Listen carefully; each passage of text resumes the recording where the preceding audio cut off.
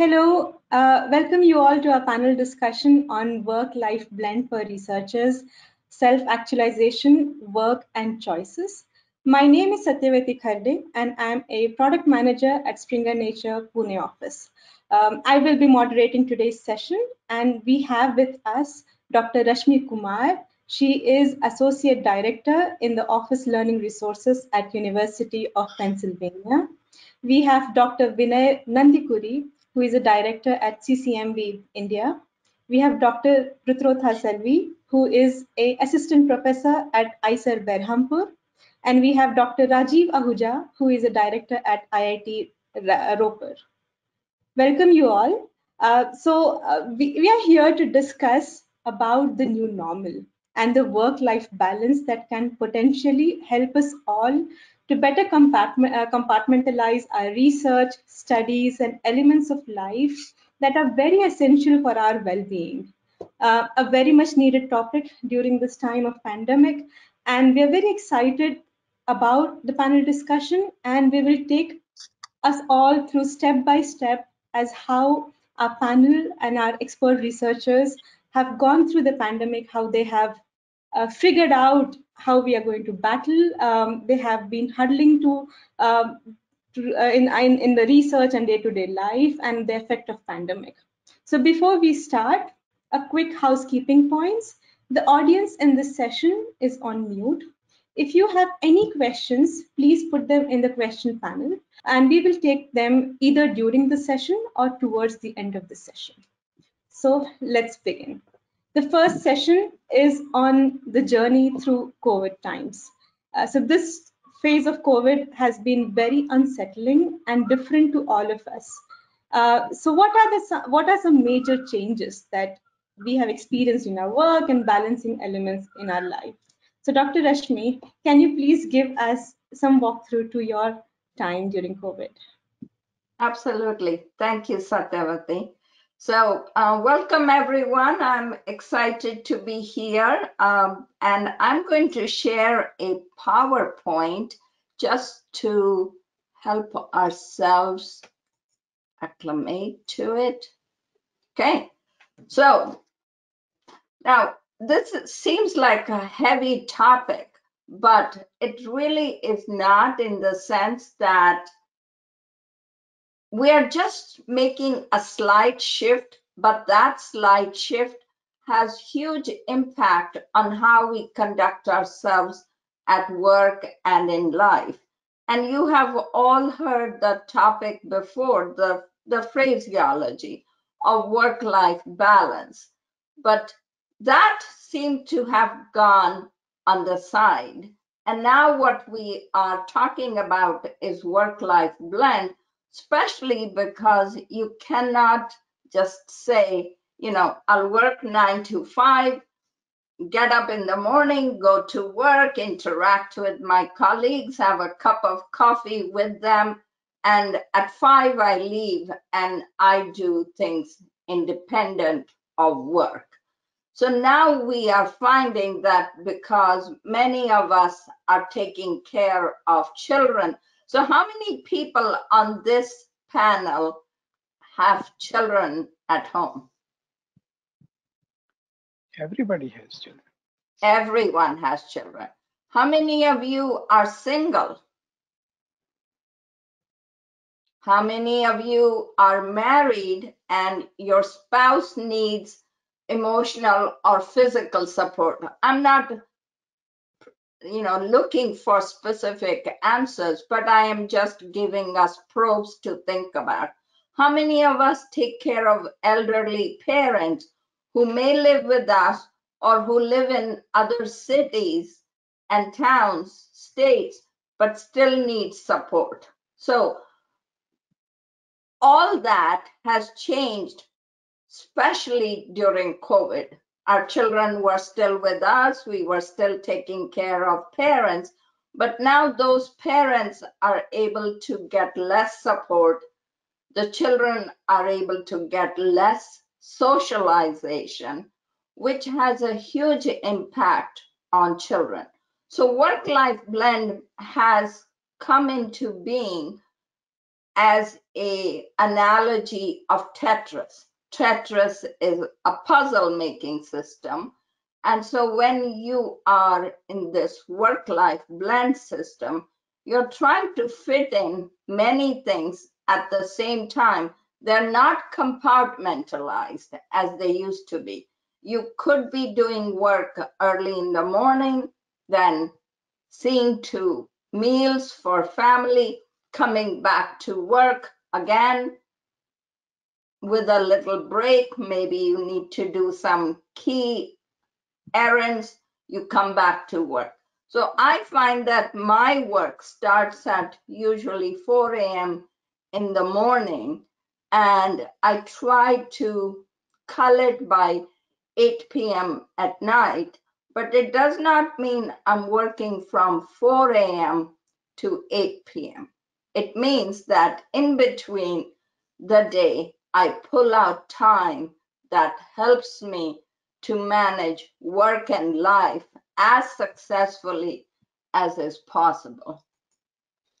So I'd like you to think about what does work-life blend mean to you? Take a minute, think about why it applies to you and how do you see the opportunities and challenges in sustaining a healthy work-life blend?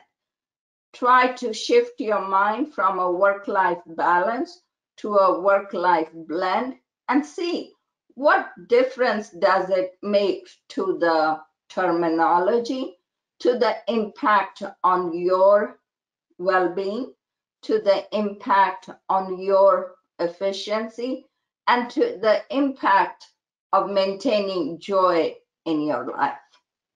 So I'm going to now stop the slideshow. And I would, you know, whether people want to put it in the chat or they want to think about it, however you like to do things. So I'll take Satyavati's lead on that. Thank you so much, uh, Dr. Rashmi. While we think about it, uh, Dr. Vinay, can you please help us? How was it for you? What were some major changes that happened in your work and balancing elements in your life? Thank you, Satya. Um, I used to work at National Institute of Immunology, which has 35 faculty, 150 students, 60 or so project associates, and 300, almost 300 support staff. This is actually a residential campus mostly, other than the support staff. So when the first lockdown was implemented on March 24, 2020, like many other institute, our institute completely shut down with exception of going there to maintain equipments and all, nobody was allowed into the labs at all. So there was this particular fear of unknown because nobody realistically know what we were getting into a territory which was completely um, something that we did not know. This level of pandemic is last time it was hit. It was way back in 1918, right? Nobody has seen, and none of us have seen a pandemic in our lifetime. So there was a huge level of fear of unknown, and you know, which essentially led to, even though we are researchers, kind of led to a uh, problem of closing down everything and just trying to wash your hands too many times, kind of a stuff. Many students actually left for home because of this uh, lockdown and all those things. My wife is actually a faculty in Delhi University, um, and uh, my son is an engineering final year student. Everybody was at home now my mother is, lives in Bangalore, my mother-in-law lives in Puttaparthi, everybody is, and there was this particular worry of their old age, what happens to them, all these things were hanging around, and it's kind of difficult at that point of time. I've never stayed home for this long a period since 1991 when I was doing my after my masters before I started PhD. So it's like it was kind of a balance. You know, we had to give space to each other. We wanted to do work at home, so what we all developed a certain patterns so that this lockdown doesn't get to us, right? I, I would we would focus I would focus on writing manuscripts and I would talk to my students. So my wife would do something very similar. She wrote a review around that time. We also look at the these lockdown days as a typical working day and have some level of a discipline. You start at a particular point of time, stick to the routine so that there is not you know you don't feel the concept of uh, you know you're always at home kind of a thing and go for a small walk in the evening and then come back and stick to your lockdown so it was tough but it's something that we kept our routine going I, even when I got back to my lab after one month, things were not normal. I could go to the lab full time, but my students, only two of them were allowed at any point of time. It was tough on them too. You know, they were all stuck at hostels. And, you know, we are lab, we are experimental biologists. For us, not to come to the lab means you're not doing anything. How much will you read? So eventually it was always an issue. So to give you a picture, two people were allowed at any point of time. I, I used to have 10 people. So if two people are allowed at any point of time, on a day I can't cover them. And so it was kind of tough. Uh, but you know, one thing that kept us going is, I believe that is what is needed was positive thinking, reasonable discipline, and I the particular concept that this too shall pass. Thank you, Thank Dr. Win. Dr. Selvi, how about you? How what were the major changes? Thanks, Satya. So um, I have to say that the word unprecedented entered into our vocabulary after the COVID pandemic. And it, has been an unbelie unbelievable time period. Uh, but I have to say that um, Zoom calls and uh, online meetings moved from just being for academic settings to family settings. Like we started uh, chatting with our families and friends. Uh, there used to be our TGIF sessions, which we used to have in Europe uh, we used to have it on Zoom. So we people were trying to reach out to each other. Um, so I would have to say that there was an initial lull in the first couple of weeks where we just thought, you know, no particular um, timing, you just wake up when you want. But then we realized that if you want to be on track and not let the pandemic get to you, your mental health, your well-being, then what requires is to have that discipline. You know, think about Monday to Saturday as your working days, stick to the timing, and then um, Sunday could be your off day. And I would actually like to mention that uh, this experience came from, I remember when my father had retired. So he had spent, uh, like, he was uh, a senior official in the Indian government, um, Ministry of Labor. He was always on the run. And when he retired, we called him, he was a ball of energy who did not know what to do. So through the week, he devised a plan. Monday, I'll go to the bank. Tuesday, I'm going to do this. So that way, he knew that this is how we have to keep ourselves going. So eventually, um, things started looking okay. We started uh, coming into the research labs. So I think what changed was we all started looking for each other, after each other. And I think that has increased uh, during this pandemic time. Thank you, Dr. Selvi. Dr. Rajeev, how about you? Yeah, thank you. Uh, what I will like to say that uh, on this point that we have to be nice to ourselves first, actually. And if we want to pass this transition period, and as uh, we all was not prepared for this one, so so now uh, suppose if you were working only, it's like that you are you lose one arm. You are working with one arm only. So so of course uh, this one arm has to bear a lot of load because you don't have the second arm. Second arm means you can go out and you can work in offices and uh, and you can interact and collaborate with your colleagues and that has gone now. So but uh, we are learning and now this pandemic is we are working almost uh, more than a year. So now we know how to plan it. Of course we all are working at least three hour extra compared to what we used to work. And in in principle your mind is working maybe 24 hour.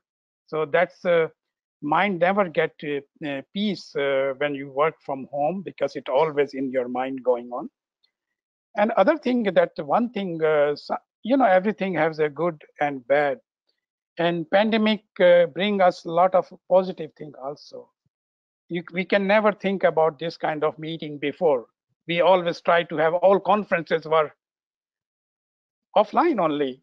Even now also if there is some online conference you don't feel excited because you want to go you know offline. So i do even international conference, whatever conference, you, you don't feel excited.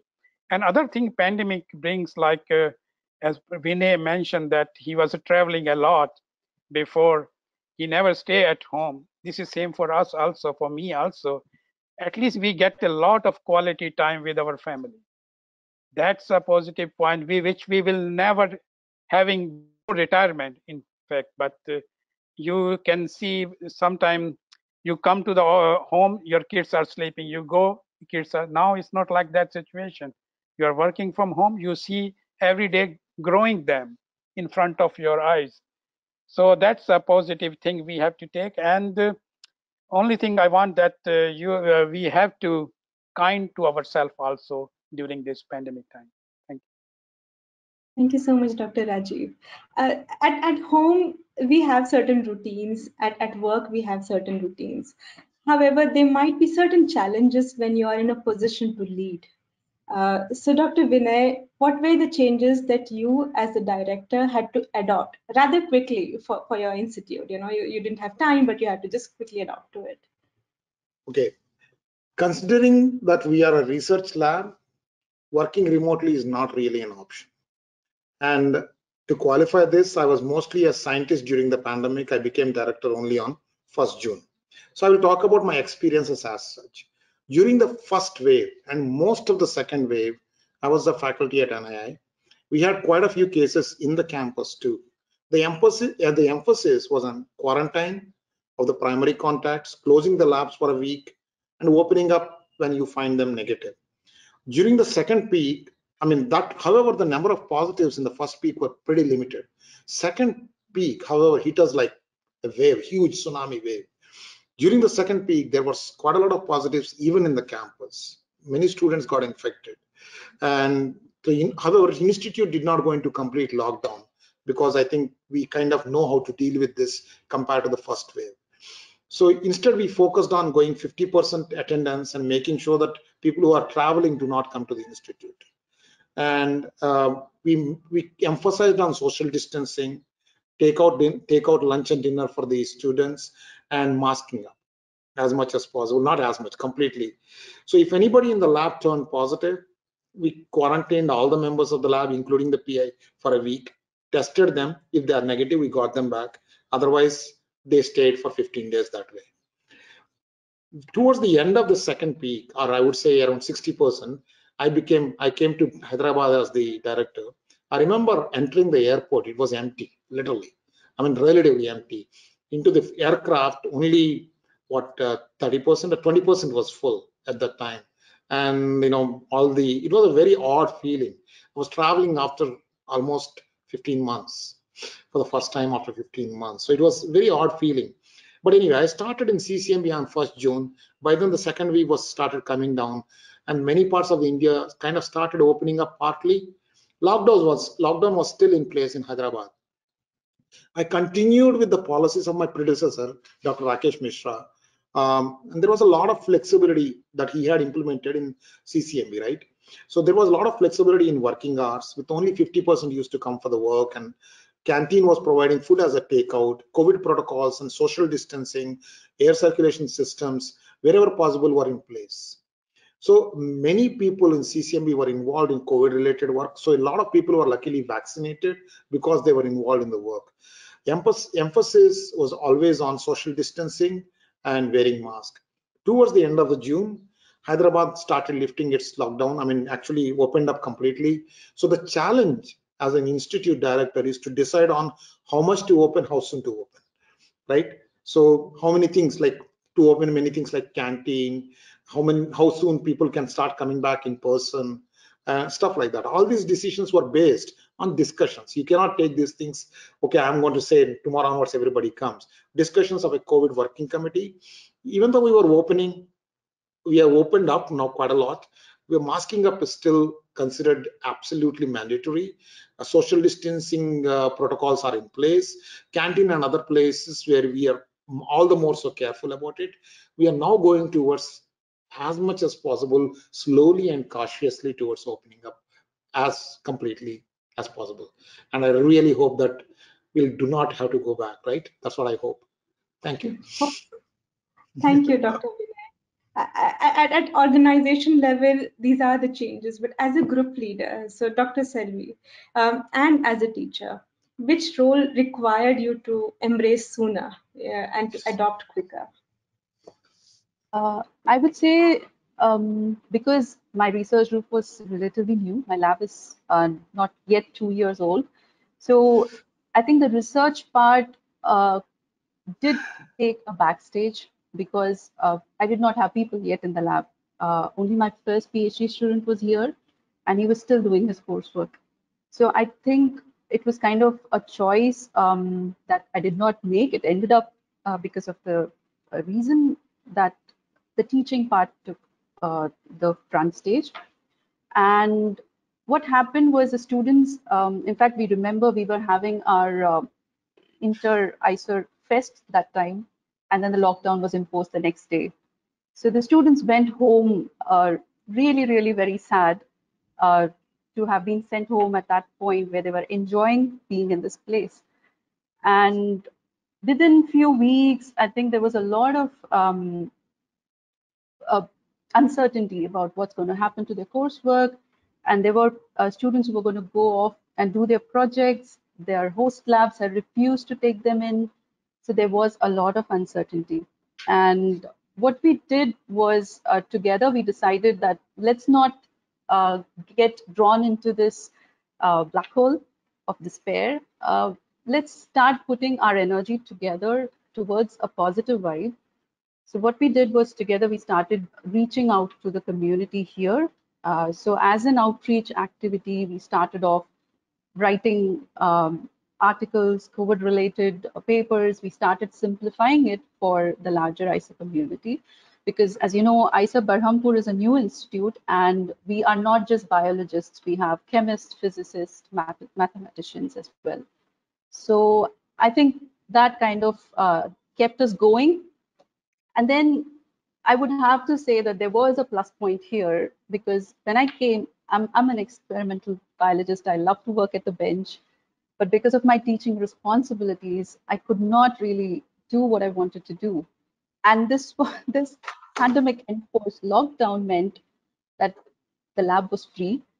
So I could actually start off getting the cultures out and doing some preliminary experiments, uh, which whenever the students came in, they could start off. So would have to say mixed feelings, but overall we decided to channel our energy uh, to keep us and keep us towards looking positive and yes, believing that this too shall pass. Yes, thank you. Thank you so much, Dr. Selvi. So, as a student or in the biology lab, you know, it's it's very natural that we want to be in the lab. Uh, however, uh, we have technology institute. So, Dr. Uh, Rajeev, so you you are a director at IIT, uh, which is a technology institute, um, and you have students at various uh, stages of their careers, of their studies. Uh, what was the major priority for you to focus on at during this time? and, and to uh, facilitate learning, basically, yeah. so the big main challenge was that uh, how to bring and how to put uh, everything at a, in a one picture so they can all be benefited for this one for example we have a btech students they're engineering graduates. Then we have a master and MTech students, and then we have a PhD student. Their main focus is the research. So research was suffering. So we try to open the research part. So we have now our labs running. And when it comes to the, as you know that we have a BTech in first year, second year, third year, fourth year student. And I can tell you that the first year student has already finished one first year and they have not seen the institute. So that is challenge to bring them at least uh, this year to, on the campus. And the fourth year student is more important for us because this is their final year and their career depends on the fourth year. So we call them also on the campus. Actually, they were always on the campus, fourth year and the PhD student during whole lockdown uh, since I uh, I started at IIT Ropar. So even there was no classes uh, offline they were sitting in hostel and joining the classes online so at least and they can get some kind of access to the labs also and we put the on priority because uh, BTech students, their campus interviews we held, so they have to be on the campus. And other thing we have um, because in fourth year uh, you have to do your internships, and now since lockdown, there's no company is uh, open to take interns because a lot of things are in under lockdown. How we should we do?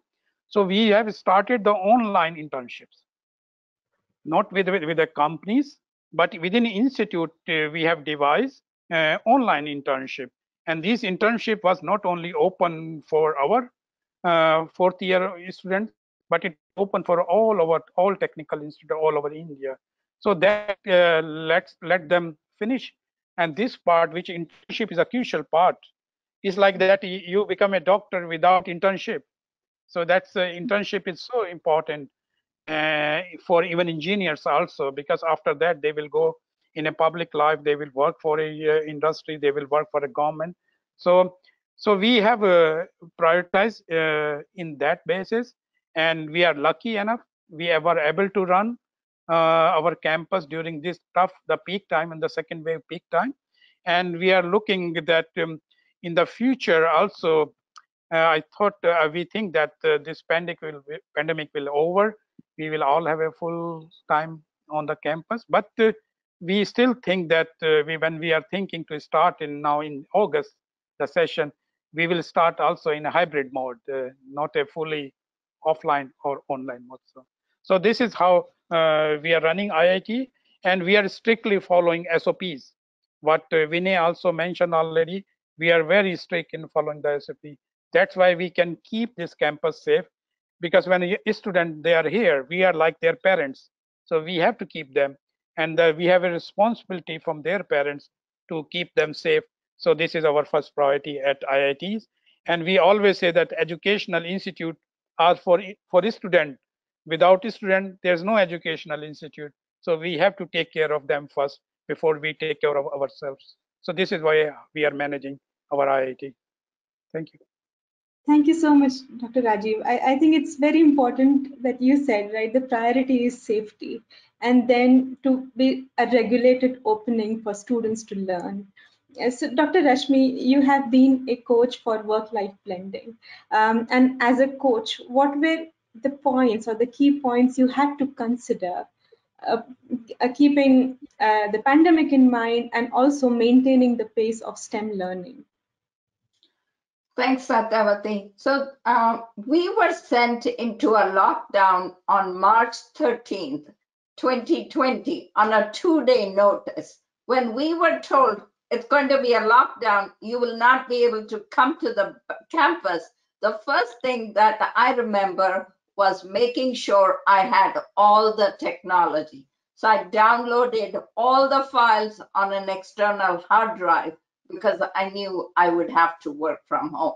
Even though I do have uh, remote access to my office machines, I wanted to make sure the files were with me. Now, at Penn, many of our students, especially the master's and graduate students, so we divide the students into three categories, what you call bachelor's, master's, and the professional schools, which includes the students in the medical school, the dental medical school, students who are going for PhDs, law, and business. And we look at their calendars sometimes cumulatively, but sometimes with a key focus of what their responsibilities are and how they are going to be differentiated. So for example, Selvi was talking about bench experiences. For the undergraduate or the bachelors, they were mailed the kits at home with reformed experiments. So each student, no matter where they were living, uh, they received large boxes of kits that they could do the experiments with. Now it's possible on a bachelor's level you cannot do that at a PhD level or in the medical school because they have to come and experience with the real organisms, the real bacteria. So research for them was tough. and they were moved into working groups where they could brainstorm, develop ideas, develop proposals for future research. So they are still immersed in that thought process, however, with a different lens, and that made a difference. Working groups for the senior students was a blessing because it allowed them to keep their socialization. And these were not working groups ad hoc, they were mandatory working groups, as if you're taking attendance in a class. But each working group had a responsibility, a goal, and a delegated breakdown of who is doing what it allowed a lot of enthusiasm instead of apathy and saying, I don't have enough things to do. They also were able to publish during that time because we were actually, our um, university was involved in the Moderna BioNTech vaccine. So when you have vaccines and when you have a pandemic, actually multiple opportunities to write and publish and to write and publish through a different aspect to write and publish in collaboration with our university people and with people outside our university, whether they belong to NIH. Um, I know people were working greatly with European countries and then there was a lot of psychological, sociological research that was being conducted in South Asia, India, Bangladesh, and so on. So those aspects of research changed, but research did not stop. Now, we were in a complete lockdown because the number of deaths, fatalities from COVID-19 were very high till January 21. And so our master students were allowed to come back. They had to get tested every week. Our medical students, dental medical students, law students, they came back on 25% capacity. So when labs were open, they were open at 25% capacity. That means you have to have each session four times in order to serve 100% capacity. And that puts a lot of strain on the staff and faculty in terms of management, in terms of assessment, in terms of resource allocation. And that is what we learned from March 13th when we went into lockdown till June, we were still trying to tease out the different elements. And then we, of course, are being responsible, as Dr. Rajeev said, to the student, the student who has gone far away, the student who is near the city, and how do you bring those students together? I have many international students who went back home thinking, okay, I'm going to take a two week vacation and then come back. They have not come back as yet because visas have stopped. You know, either it's in their host country or in the US, there's something that's happening. So with the international students, I sometimes get up at four in the morning to meet with them. And uh, students who are in Africa, broadband is very expensive. So broadband can only be accessed through certain hours at libraries or, you know, where their parents work.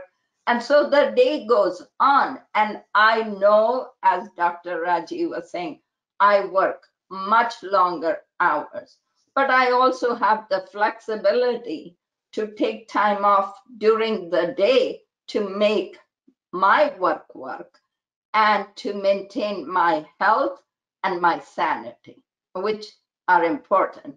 At home, because we're all working from home, we had to figure out separate spaces because we all talk for a living. And, you know, if you have four people in the house talking at the top of their voices, You cannot, you know, be in proximal places where other people can overhear you. For me at home, that was the biggest element work-life blend.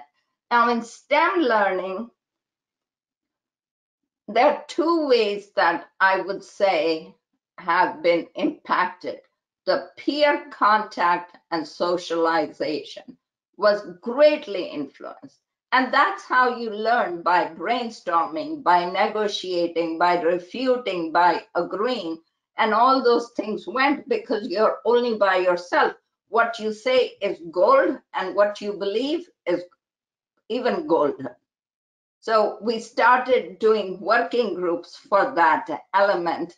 And I have two things that I have found useful. Role playing, so doing in the working groups, putting role plays where two or three people take opposing opinions, brainstorming platforms, and having those to be seen by a large number of students or faculty or staff has been very helpful, where people will say, you know, this is how I would do it. And someone would say, I wouldn't do that. And I'll tell you why I wouldn't do that. The other thing that I have found useful for STEM learning is talking to yourself. And most of us talk to ourselves, whether it's in the bathroom while we're having a shower or we're cooking. But I, I started designing self-talk as a way to capture your learning of the day, recording it on the phone, listening it to within 48 hours. It really tells you what you know and what you don't know. Thank you, Dr. Rashmi. I, I, I think it's it's like when, when we say we are working long hours, there are disruptions in our routine. They, uh, as students are also, uh, if you're saying 25% of students are coming back to the campus, there are many students who are not coming to the campus. So my main question for the next session is, is empathy becoming a quintessential aspect of leadership? If so, how? So I would like to start with Dr. Rajeev. Uh, that's very good question, uh, Satya, because when, especially during this pandemic time, so it's really mean mm, what uh, we want to do on this aspect uh, because uh, everybody is staying home and there are a lot of social pressure and then pressure from work. You have to perform, you have to show that you are worth it, worth of it to your employers, uh, everybody working under stress, and you have to be performer, especially in this time. So because before uh, you can make excuses that okay you were on the way or you didn't get time and things, but now those uh, uh excuses have gone. So you have to perform. So people feel a lot of pressure. So what we have to do, we have to encourage those people. We have to support those people who need help, and especially in this pandemic because of the stresses. So we have to take the personal interest as a leader eh, in those employees, or even for a student also, it's the same thing. So when the student is also working eh, under um, at home environment, and he cannot share his uh, uh, insight to other to what he can do with the friends. He cannot do with the maybe parents. So so they are all under pressure. So we have to listen to them and and we have to be a sympathetic to them also. And we should not uh, when they are telling you something we have to listen with the patience. And sometimes uh, as a leader you think sometimes this is irrelevant but for the person on that condition on that under pressure this is very relevant question or relevant question uh, not for me but for him or her. So we have to uh, be in this condition we have to need empathy. And uh, we have to talk to all our colleagues um, as a leader as a friend you can talk to your friends and but as a leader your whole institute is like your family so you have to take all of them together and uh, uh, listen to their grievances uh, listen to their problems and uh, try to solve their problems. And don't put them pressure because I know some of the my colleagues say that oh he cannot do this thing. Can he uh, take two days nowadays even can be away for two days at home. I say for me it's not necessary. You come to the campus and how what time you do.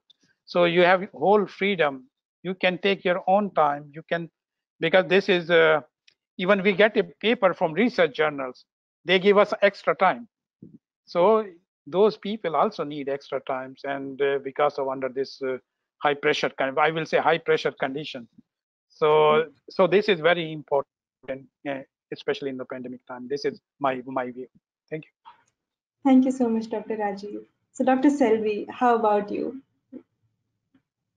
Definitely. And I think, um, especially the second wave, has tested all of us uh, much more than the first wave.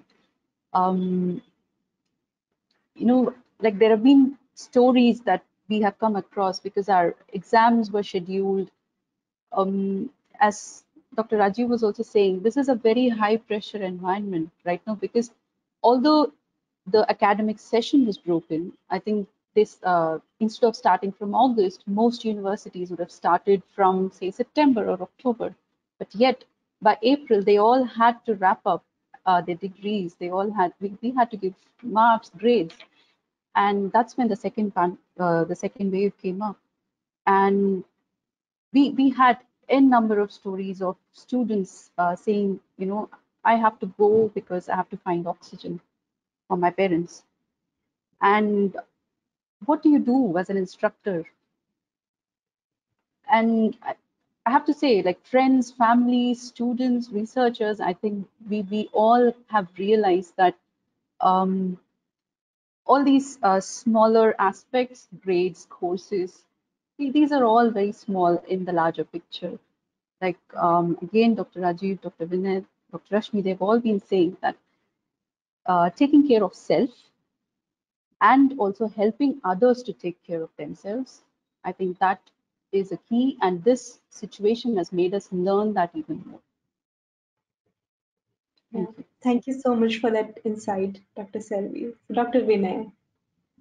Uh, I echo the the points that were stated by Rajeev as well as Selvi. I believe empathy is absolutely the most important part of leadership. You know, you cannot be a leader without actually emphasize empathizing on other people's troubles and understanding this. There are many levels: teachers, um, heads of the institute, I mean, lab heads, and finally heads of the institute. There are many hats. I wore all of these hats at some point of time or other. I taught few classes for Delhi University students online. And there you realize the problems associated with bandwidth, which Rashmi was talking about. Some of these people are in Dehradun, uh, they went back to their houses, right? Some of them were in Northeast, and their bandwidth was very low. You know, you, they, they find they come on and off, on and off into the class. So these are struggles faced by the students, and you need to, you cannot be very strict and say, oh, you're not attending the class. They're struggling. They're struggling to even keep up. They're struggling to keep their focus on. They're actually struggling in many ways and many facets, which, I mean, they're staying home. Some of them are living in large houses, I mean, small houses with large families. And, you know, these are the aspects which we can't even imagine or think about. You know you don't know everybody's every person's personal space. We don't know how they are. And and over and about the and as a lab head next one is to be you have to be flexible. You know what Selvi was saying about people falling sick their parents are falling sick or sometimes the friends oxygen needs this that. I mean it was a very different world especially during the second wave. I mean it's pretty sad and uh, very very i mean time that tested most of the people in india is the second wave. A lot of people who are close to you or somebody you know or somebody somebody you know you know kind of a thing they've expired they've passed away. And a lot of people got hospitalized. It was testing times for many people not for researchers in people at large but you know students. They are ultimately people right uh, postdocs employees there are stories of uh, these kinds so this is an important. As an institute head, that things just become as a larger scale, as uh, Rajeev mentioned. But eventually, you have to the underlying principle always remains the same. You have to empathize with the problems faced by many. And if you don't do it, it doesn't matter what hat you wear, you will be a failure. And one of the last things that I want to mention is there is an additional conflict many scientists may have faced. They have their own families to take care of, their own safety concerns that they may have, but they also have responsibility towards their students. They also have responsibility towards the community to do the work, right? And this is where you know this empathy and this is where their personalities and how they actually deal with this comes into play. Uh, and I really, I mean, it's been a uh, testing times, especially the second wave, has been a testing times for many in India, no matter which walk of life you are from. Absolutely, Dr. Vinay. Thank you. And Dr. Rashmi. Um, Satyavati, could I add one thing? So I like to collect numbers and trends. And I will I went through my emails last week to tell my boss I have written more emails ever than before. I have written more positive sounding emails that say, okay, I do know what you're going through and I empathize with it. However, this is what I can do to help you. So empathy alone is not enough. What they also need, the students from me, is a word of encouragement, a path forward. So those emails, I because I used to see these people in person, you know, on the walkway, walking to my office, walking to the library. Now, when you're writing something in an email, it actually takes more time.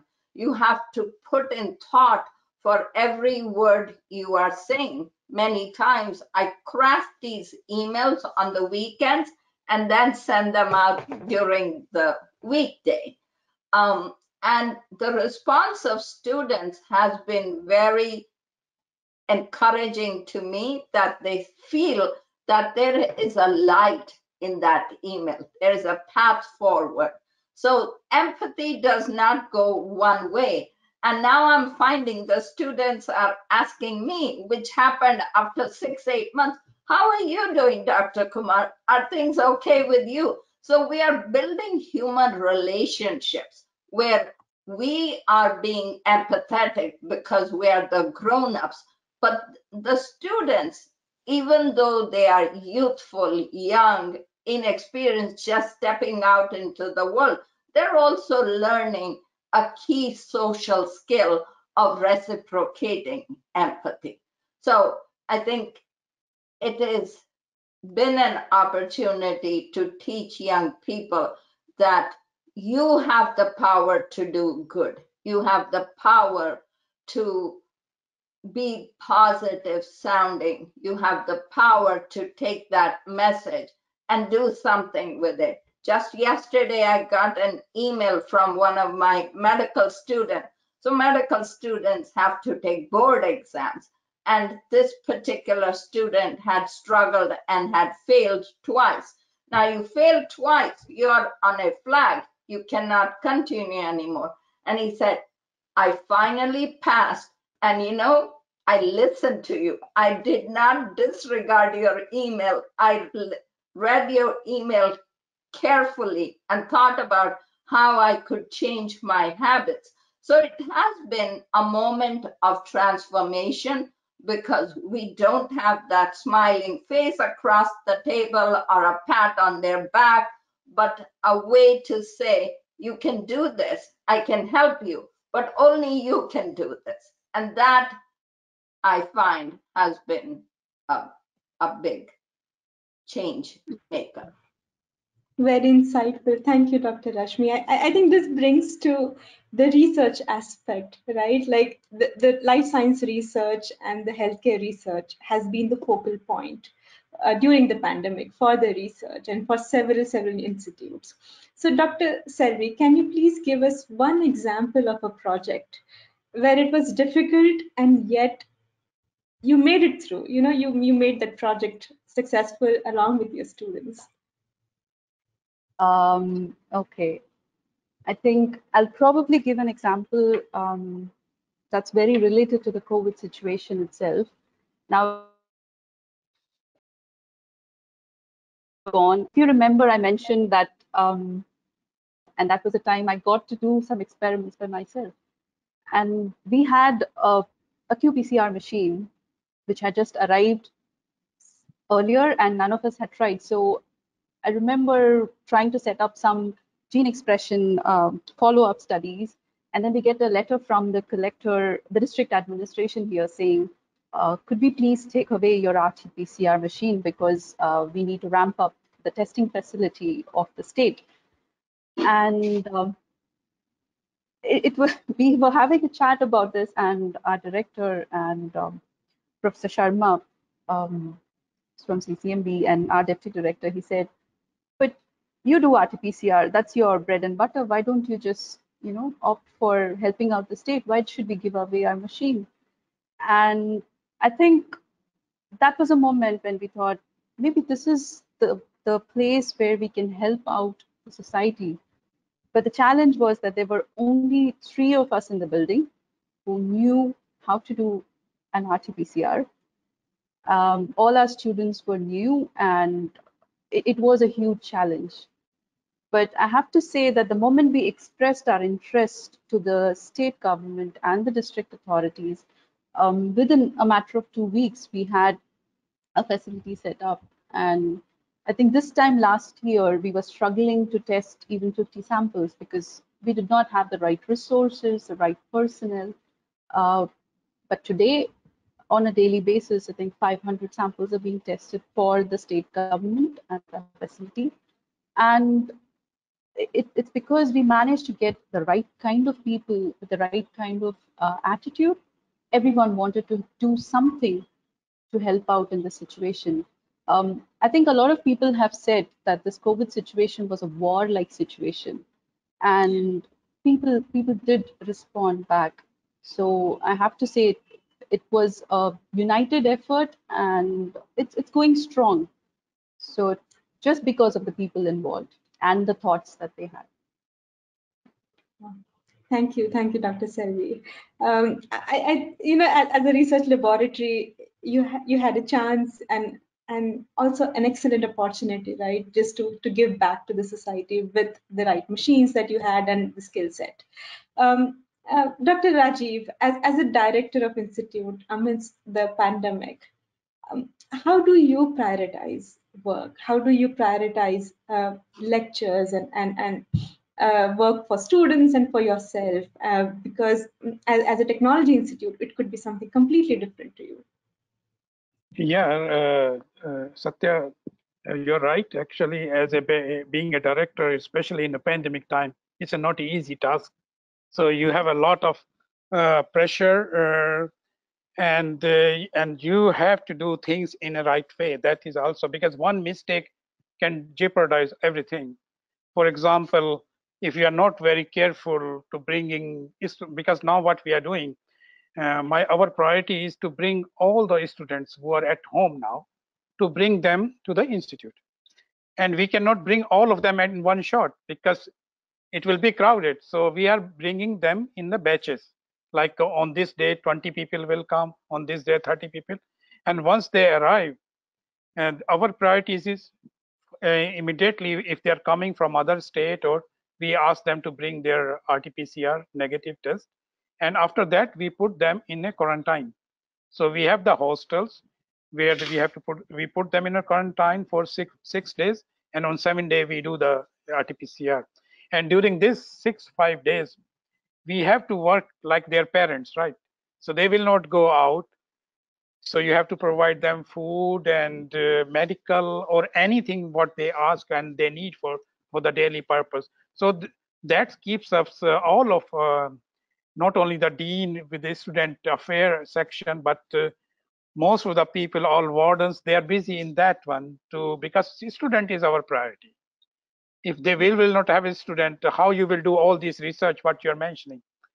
I cannot do myself research. You you have a group, people work in a group and work in a collaborative way. So that that's the only way. So so students are the priority of the institute and we have to take them as an uppermost task. And that's what we are doing right now. So every day you say, okay, this uh, batch is completed six days. Now we take their RT-PCR until their report even the people coming for RT-PCR, they come in the campus.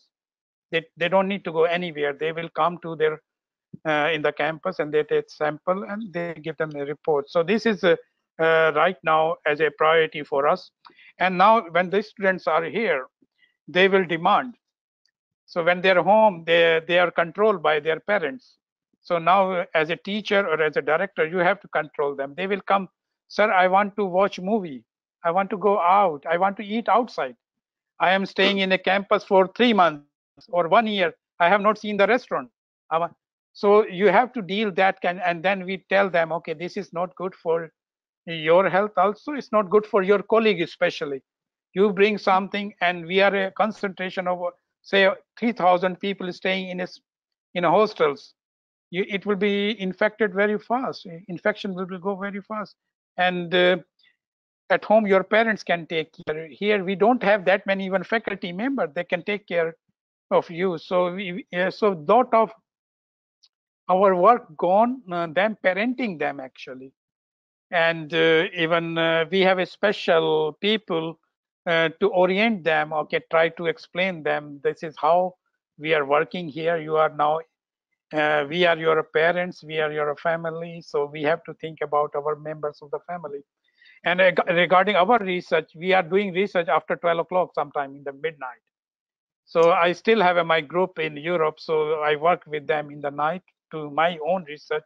But in the daytime, if you can satisfy your student, your faculty member, your staff, that whole day is gone. So, so we are all working on this hard time. And I always give them a message. When you will do this, good days are coming.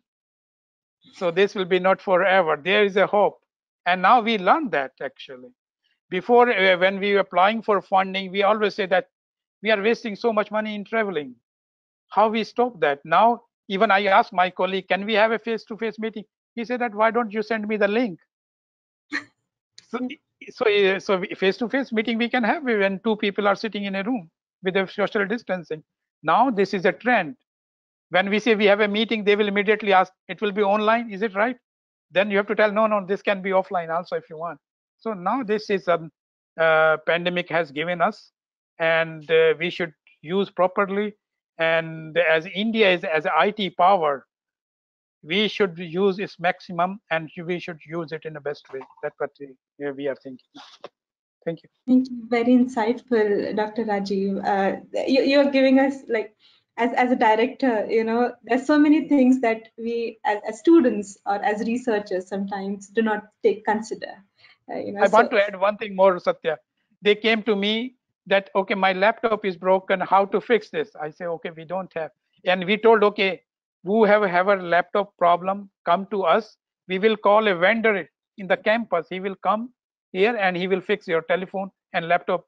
You don't need to go out. So we are doing all that kind of uh, help to them. Thank yeah. you. Thank you. We did so, that too. Yeah. we had these what we would call open kiosks where they could bring a tool problem, a device problem, and there were two hours and you had to make an appointment because we didn't want everyone crowding there. So you got appointments in 15 minute slots or if somebody could actually reach out to you from remote and tell you what to do to fix your device. So there were many things in that blended environment that if one solution was not going to work, one solution was not applicable, you had to have a plan B and a plan C in order to make sure the student had every resource available to learn and to be successful. So it wasn't one way for everyone. It had to be multiple ways for multiple profiles of students. Thank you. Yeah, um, thank you, Dr. Rashmi. So uh, I, I, think that there is a kind of focus that we would also need going forward, right? So Dr. Vinay, um, how about you? So what would be your focus going forward for your students, for your researchers and group leaders? See, COVID has impacted every walk of life, but it has, that's also extended to researchers as Selvi has mentioned.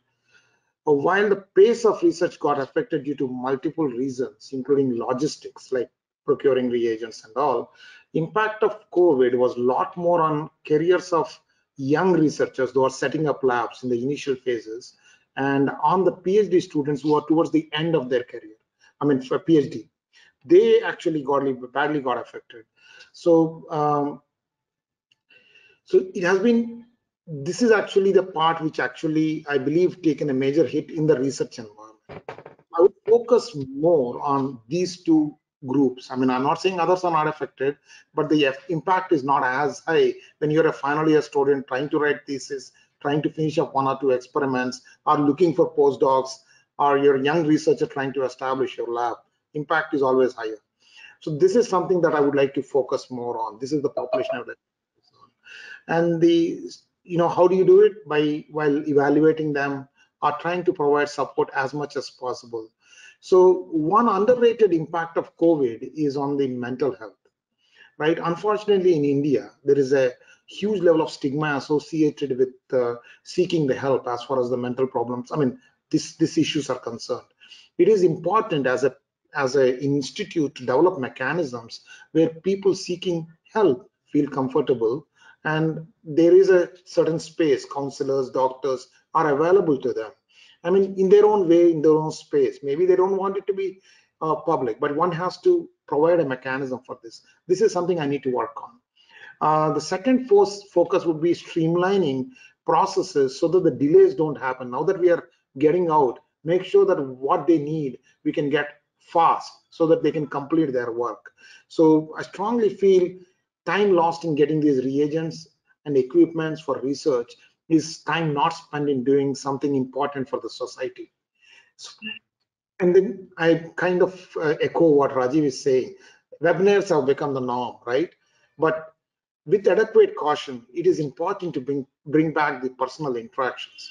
You know, there is nothing that can replace a scientist giving a talk on a stage where you can see the person, where you can see eye to eye contact, and the kind of things that you get out of that is not the same as an online thing. You're essentially talking to a computer. Do I see all of you guys? You're still talking to a computer, right?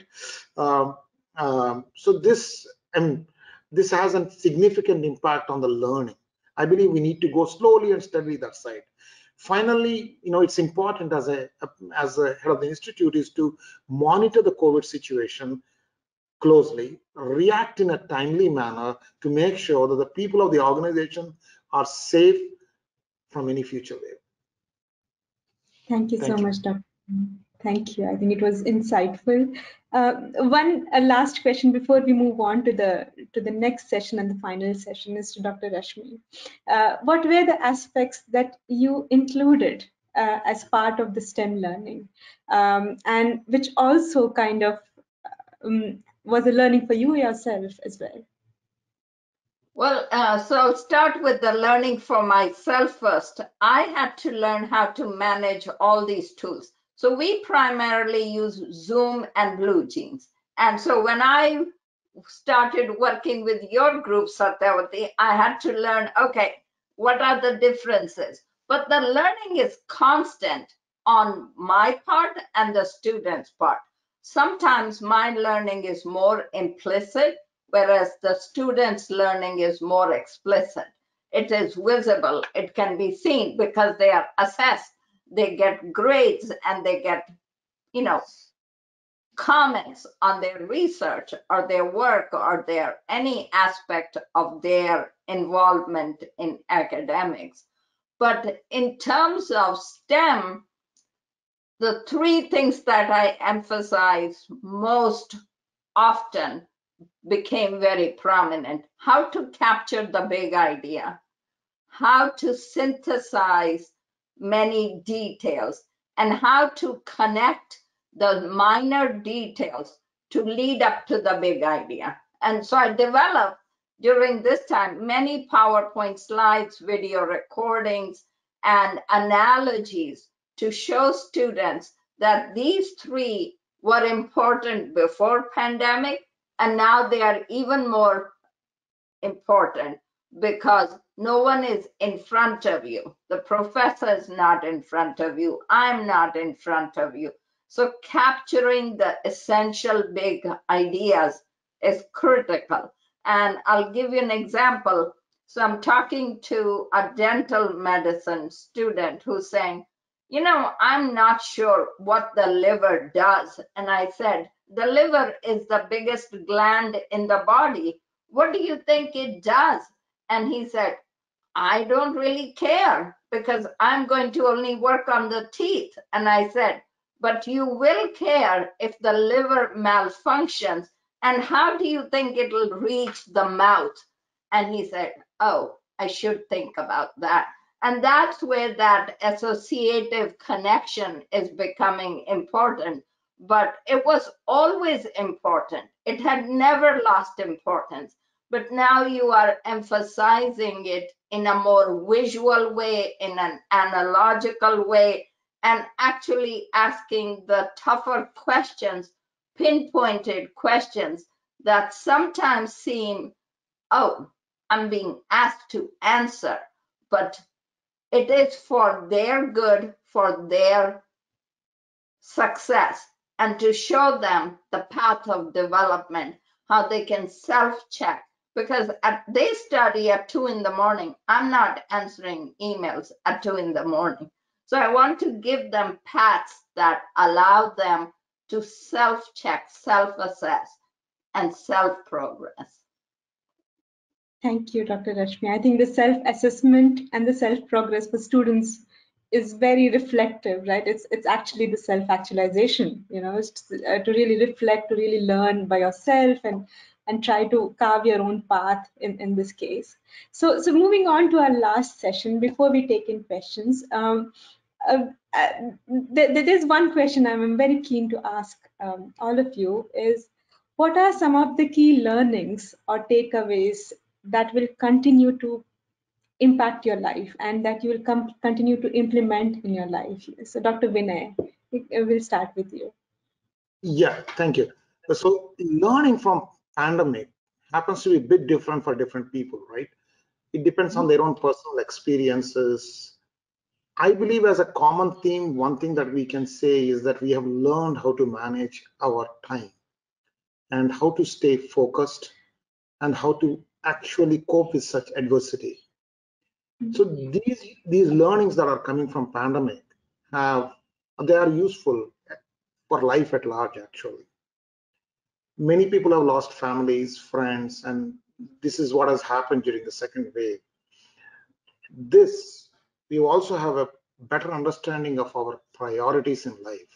That is what Selvi has mentioned during her earlier comments that you know all of a sudden you start wondering what is that we are doing in a very philosophical way when you know you lose your somebody loved ones or somebody you know a young something like 47 48 5 with young children passes away. So you start wondering about how much we actually kind of get lost in the busy lives how much we lose our priorities actually. Right? It's it kind of is awakening. So this is something else that one actually learns people started appreciating small things of life actually. I mean i at least started. And my my sincere hope is that we don't lose the some of this appreciation of some of the things that we started doing during the pandemic. We don't lose them once again get back to our busy lives and lose it all. So that's the positive learnings uh, positive energy that one actually learned to live with should be taken forward. Thanks Thank you so much, Dr. Vinay. Dr. Rajeev, what are your key yeah. learnings? Yeah, so my thing is that uh, since pandemic, we always wish in our research life that we should work in a collaboration mode. We should collaborate with each other, not only within a country, within a department or outside world. So we learned that uh, collaboration is so important, especially in the pandemic time. We learn it and how we help each other. And uh, that what Vinay is also mentioning that we should keep on doing even after uh, the pandemic is over. And uh, uh so, uh, as we know, if we work in a team, we can go a, a long way as work you individual. And the pandemic has teach us lesson. We have to work uh, in a collaborative way and in a team you know, team manner and we should also this uh, pandemic also give us a lesson that we should be a little bit patient and we should have an extra grace actually if we want to navigate this uh, tunnel of pandemic and then hope uh, the good days are coming. And uh, we we are coming much stronger than now, before because of this uh, the things what we learn from the pandemic there are always good and bad things but we should always remember good things and this is how i see in the future uh, and the takeaway from uh, this meeting. Thank you dr rajeev. So dr selvi how about you? Um, okay i think my takeaway from this one year worth of pandemic time is that we've now started um, kind of prioritizing our goals uh, in smaller packets. We are not looking at what we want to do after one year or two years because we don't know what's up the road. So what we have now started doing in the lab, especially with my research students, is we say, okay, we're going to do this experiment in the next two weeks, and then we're going to we've started setting smaller milestones and in the way, we've started appreciating our journey to reach these milestones. So I think earlier, um, again, I have to say whatever my experience is has been in someone else's lab, not as with my own research group. But there we used to um, say celebrate when we had a paper that was published, when a grant was accepted. But now what, what we have decided is, okay, we've got our experiment hypothesis has worked, let's celebrate let's celebrate the people who work towards it and um, i think that's the thing. We've started appreciating the smaller things and working towards smaller goals. And i'm sure together uh, they'll come up together and uh, look good. Thanks. Thank you dr selvi. Dr rashmi how about you? So I'm listening to Selvi, Rajeev, and Vinay, and I am reminded more that being grateful for what you have and acknowledging it in a constructive way has been helpful. I have also focused on letting go of things, of any disappointments or regrets or interactions, and that has been cathartic for me. I have shared that message with many students and colleagues that if you have some past baggage, try to let it go because this is what the pandemic has taught us that life is a gift. It should be enjoyed. One should be grateful for it. And holding on to past grudges and disappointments is not helpful. Yeah, and, and and then what are what are you hopeful for? Like like you know now that we have gone through a lot together in, in different countries, in different cities. What is it that that we are that you are hopeful for? So, so Dr. Rajeev, uh, can we start with you? Yeah. So you have seen that uh, we talking now. We have got a lot actually. We should be thankful what we got during this pandemic also okay there's a bad thing we should forget but we should always remember the good think about uh, now uh, we have learned how to teach online. We have we can now teach online. We we can teach offline. We can teach in a hybrid mode. So now your responsibility is even more because uh, you want to help not only the your institute your surrounding institute. You can when you give this course the surrounding institute can also attend these courses. Now you have a whole world is open for you and you can advertise i'm giving this course. Anybody in the world can be uh, can attend this course before you never think about when you plan your lectures you plan your lecture for your classroom writing on the whiteboard. But not now but now you learn. And how to you have improved your, your pedagogic skill also especially when you design your experimental setup. I'm talking not about the research but for example BTech students or MTech students, we have uh, because I asked them up to my colleagues, do you have a what about experiment? They said, don't worry, we have make a YouTube. So we have a simulation for that, and we do experiment and we show them. So and same thing of my daughters are doing medicine. So they told us that they make a, a the dissection and they make a video. They show them on the video. So we learn now actually, and we should not give this away now. So this is hmm. the future learning. And uh, I was uh, uh, giving this on a lecture on a new education policy. Somebody asked me that now IIT is catering maybe 10, 20,000 students.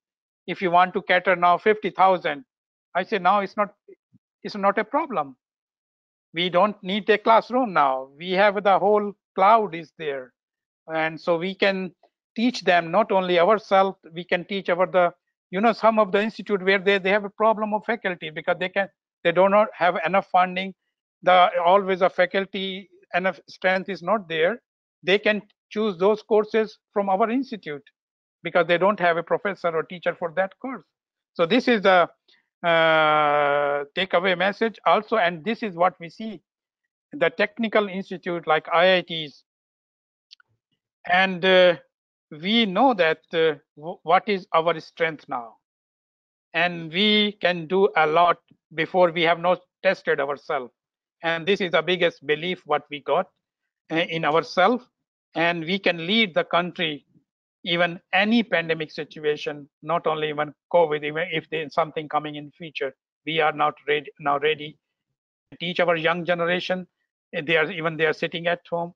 We can give them internship, even they are sitting at home, and we can help them both way, not only uh, by educational way, but even a psychological way. When when Rashmi said that uh, when the email you write nowadays, we have to think what you are putting in the email so still, I always prefer to talk them on the phone also, because with the phone you can express much better than writing. Sometimes writing is very blunt, so you can take and you can interpret in different ways. So, so, so I will like to say that uh, we learn a lot, and we are still learning. For pandemic is not over, but we are ready, and we can take uh, to our institute, our country, or or this world into a new level of learning. Thank you. Thank you, Dr. Rajeev. Dr. Selvi, how about you? Um, so I think I'll, so there are three levels of uh, what I've learned and what I'm going to take forward. Um, so again, taking uh, kind of, uh, Dr. Rajeev had alluded to this earlier multiple times about this hybrid teaching uh, aspect what I've seen is that when you are in a classroom, uh, there are always louder voices. There are some students who always speak up, and there are some who never. This online teaching, uh, I think that has given room for these people who are a little bit reserved, but you know, after a class, they then write or drop some, uh, a message on the chat box saying, probably this is what you were trying to say. So I think it has given people uh, the opportunity to reach out.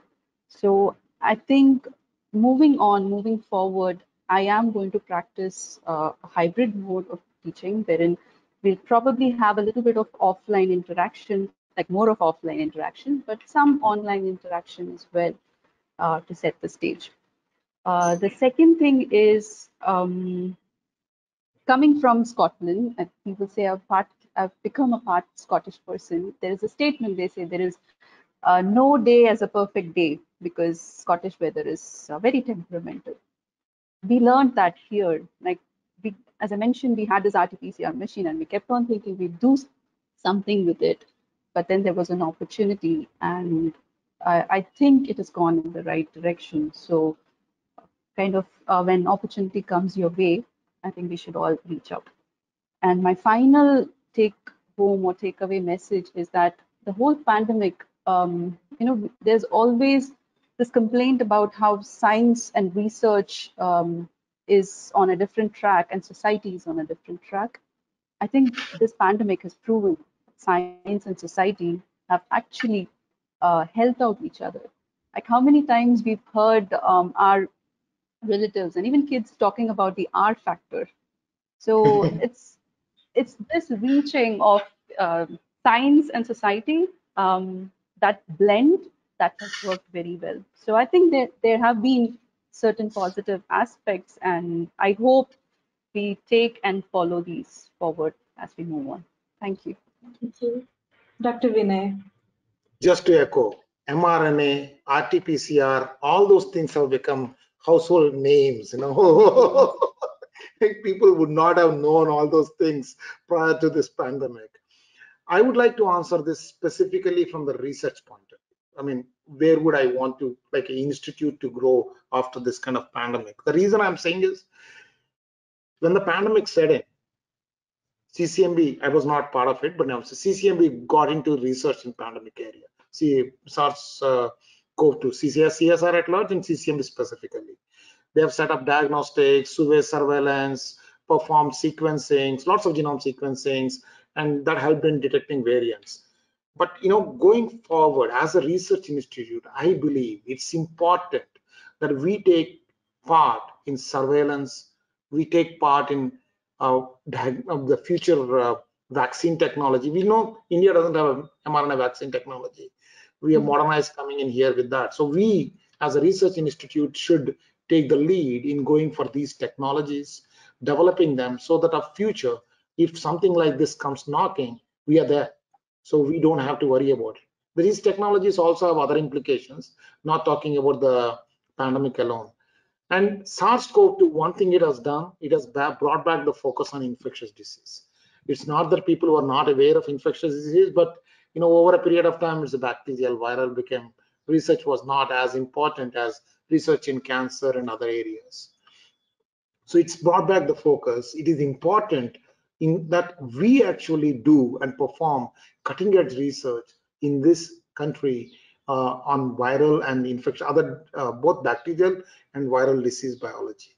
And that is something that I believe is important if we really have to be prepared for a pandemic five years down the pike. This is what I answer. I'm answered this completely from a research perspective, not from any other uh, bigger picture. I appreciate what you said, Selvi, though. Some of these things have become household names, so I can actually communicate this easier now than ever. Thank you. Dr. Rashmi, how about you? I think they all have said such good things. So I'm trying to find something else to say that would add to what has been said. Think going forward, one of the things we've realized is that we used to do workshops and lectures Monday through Friday between 9 and 5. And now we're finding that when we are doing these events on Sunday afternoons, we get the highest number of attendees. Attendance has doubled or tripled. So if we are in this hybrid mode, why not continue those habits and maintain that outreach and teaching open for larger number of students for more students from different time zones? In the US we have four time zones. Then we have students. Technically right now I work with students in seven time zones. So if I offer it on a Sunday afternoon, I am reaching out, making things accessible. And of course, it takes time away, but um, I can always manage my time on a weekday. But, you know, connecting with students and reaching out and not depriving them of any learning opportunity is what I'm focusing on. So making things accessible. Thank you very much. Uh, we are close to the time. I'll, I'll take up one quick question. Um, so uh, from a from audience, uh, so the it starts with a comment and followed by a question.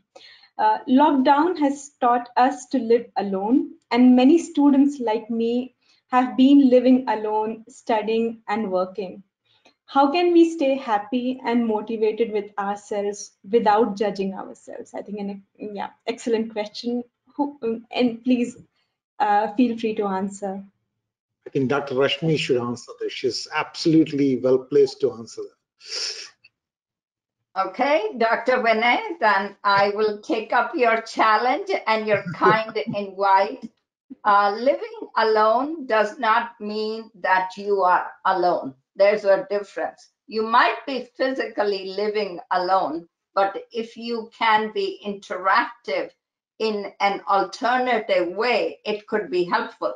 You could set up, let's say, a Zoom call with one peer one week, with another peer another week. When you have these anticipations, hey, next time I'm going to talk to Rajeev. It makes my day exciting, and I hope it makes Rajeev's day exciting to think next week we're going to have a chat. So whether those chats are work related, they are socially related, they are to discuss a movie that you have both seen. So there are ways that you can finagle that interaction without actually being in physical proximity. Thank you so much. Yeah. A bit. Any, yeah, please, please go ahead. I think one of the things which was mentioned both by Rashmi as well as uh, at some point of time me is that you have to develop some level of routine, even in that fact that you are alone. If you can develop that routine and continue the online interactions with people, you would not feel that alone. When you are actually do not have it, means idle man's brain is devil's workshop.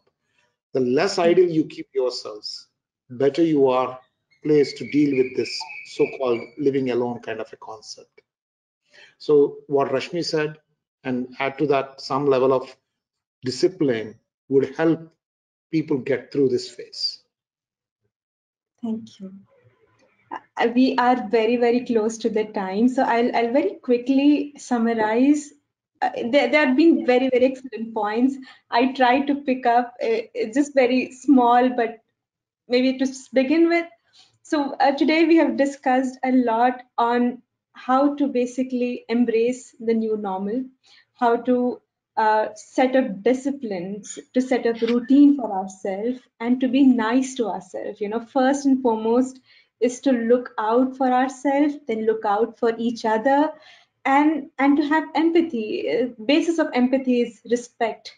To acknowledge that we all are in different boats. We are having our own struggles. We are having our own places. However it's important to be uh, good to ourselves to have that extra grace. And this period has nothing but it has helped us to face adversities. And what is important for us to go forward is to prioritize uh, to set smaller milestones uh, and to be really grateful for for what we have and to acknowledge what what is uh, that we have and how we can take it forward. So yeah, thank you so much for for being an excellent panel. It was very insightful. Um, I have learned a lot, and I'm I'm I'm uh, sure that even our audience have learned a lot. Um, and it's a very good weekend, you know. So it, it- it's it's a nice uh, thought processes that has triggered so many points, and to to really work on it so that uh, we are becoming a better human beings in, in in future you know yeah thank you so much thank you. you everyone who Thank you. joined our session